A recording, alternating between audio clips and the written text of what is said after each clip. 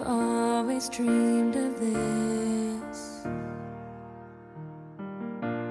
I'll admit that there was something I missed.